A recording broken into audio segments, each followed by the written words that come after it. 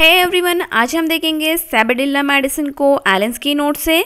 तो चलिए स्टार्ट करते हैं। सैबडिल्ला या फिर कैवडिल्ला इसका पूरा नाम है।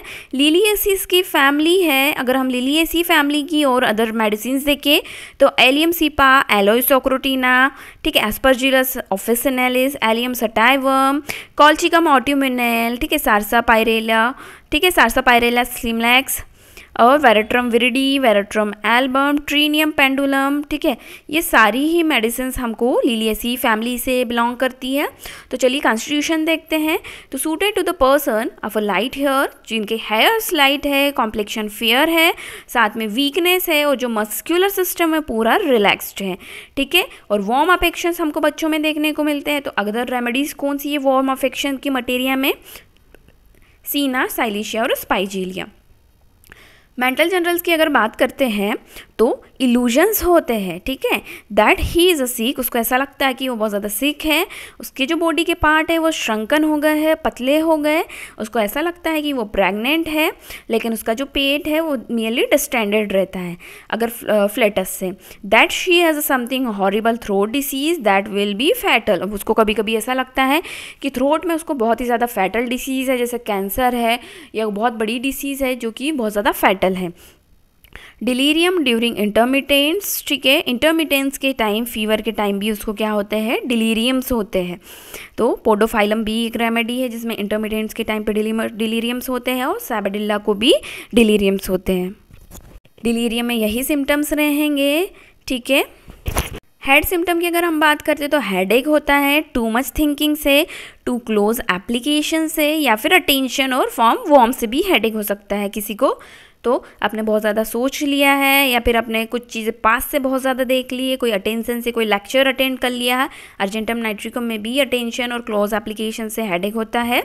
नोज़ की अगर बात करते हैं तो बहुत ही इंपॉर्टेंट है स्नीजिंग स्पाजमोडिक ठीक है? स्पाजमोडिक स्नीजिंग होती है और पैरोक्सिमम में होती रहती है। उसके बाद लैक्रीमेशन होता है कोपियस वाटरी कोराइजा फेस पूरा हॉट होता है और आईलिड्स भी रेड और बर्निंग होती है। फिर इसके बाद थ्रोट देखते हैं तो डिप्थीरिया हमको देखने को मिलता है, ठीक है?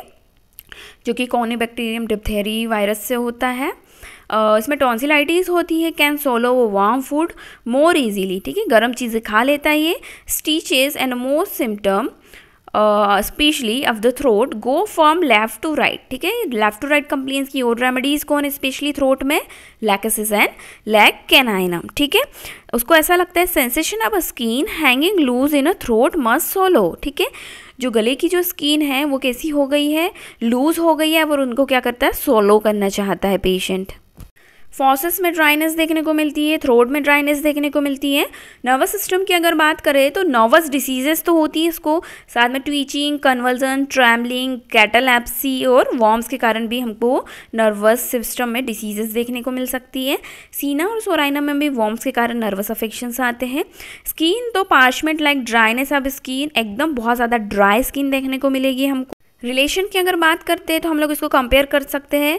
कोलोसिन, कोल्चिकम लाइको से where amelioration aggravation is from four to eight P M colocynth colchicum और लाइको है और पल्स और सबरडिल्ला का जो एम्बुलेशन होता है, ओपन ईयर में होता है। फॉलो करती है ब्रायनिया और रेनकुलस बल्बोसस को। When in pleurisy has cured after aconite and bryonia failed. ये क्लिनिकल सिम्टम है। तो ये थी sabadilla medicine from Allen's key note materia medica. I hope आपके लिए लेक्चर हेल्पफुल है। Thank you for watching.